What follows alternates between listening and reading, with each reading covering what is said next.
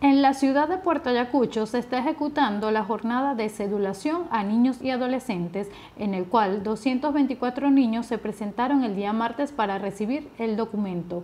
El pasado miércoles fueron cedulados 97 y hoy jueves fue el turno de la escuela Augusto Malavé. El día martes comenzamos con la escuela Menca de Leoni, ayer Madre Candelaria y Gran Mariscal de Ayacucho y estamos todavía con el proceso de la escuelita Augusto Malavé. Este, y también con los niños no escolarizados. Este, la jornada de estos tres días ha sido satisfactoria. Ah, aquí también ha estado la presencia del tribunal. El martes fueron 224 niños. Ayer llevamos un total de 197 cedulados ayer y en el proceso de hoy llevamos más o menos ciento y pico. Nueve sectores de la comuna, eh, aquí, que comprende Marcelino Bueno, Vencedores, Puente Loro, Delicia, Tigrera, Valle Guanay, Barrio Puro, Prolongación de Monseñor, Monseñor y Pro Amazonas y Ragor.